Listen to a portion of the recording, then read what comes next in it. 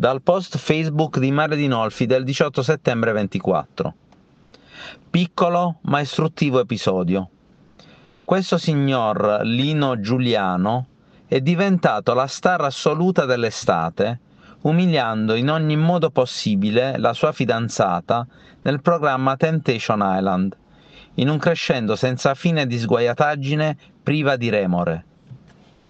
Queste caratteristiche, dunque una dimensione incolta che non conosce filtri o limiti, reiterata in tv puntata dopo puntata, con milioni di persone incuriosite da quanto potesse scendere in basso, gli sono valse la convocazione tra i VIP del Grande Fratello, la Champions League dei reality show, fino a quando non ha scritto una parolina omofoba in dialetto napoletano in risposta a una provocazione su Facebook.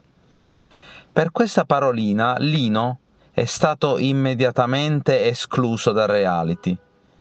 Maltrattare per settimane in tv la fidanzata gli era valsa la convocazione. Una parolina sbagliata sui social, sgradita alla nota lobby, ha causato l'istantanea squalifica.